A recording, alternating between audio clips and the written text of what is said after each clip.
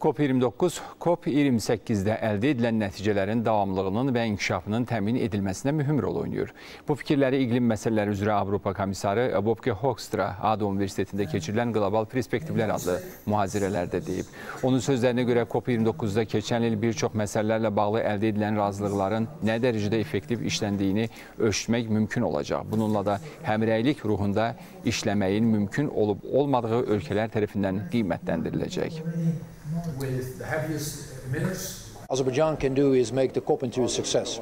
Azərbaycan COP-u yalnız uğura apara bilər. Dünyanın COP29 üçün yaxşı liderliyə ehtiyacı var.